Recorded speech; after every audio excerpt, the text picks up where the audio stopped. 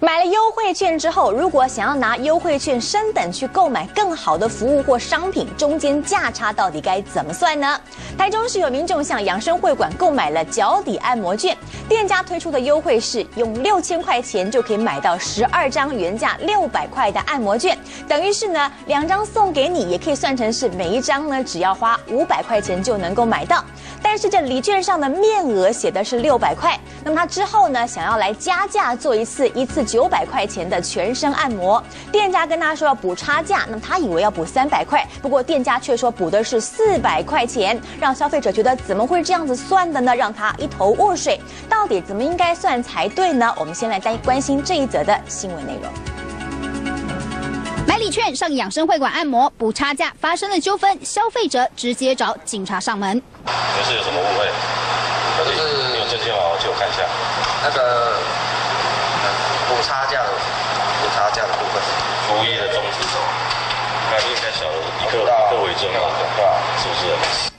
消费者说，这位柜台先生除了礼券之外，还要他多付一百块钱。事后业者强调，当时发生的是误会。认知上的差距，认知上，呃，他们认知不一样。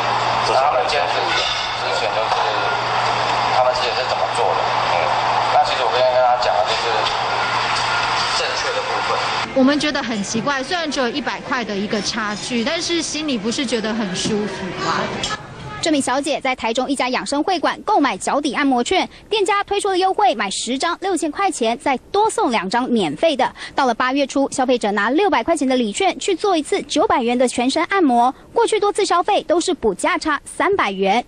但当天服务人员告知优惠券的价值只有五百块钱，应该要补四百元。我就跟他解释说要补四百，就后面我就比较冲动，态度比较差。从那一次之后，我一步路都不敢踏进去那家店。消费者表示，当时立刻向柜台人员反映，询问价差金额的疑问，也请店家说清楚、讲明白。而当天也找来远景出面协调处理，业者也改变态度，开始协调。只是双方对补价差的认知落差，看来是未完待续。中天新闻廖荣颖、连嘉庆台中报道。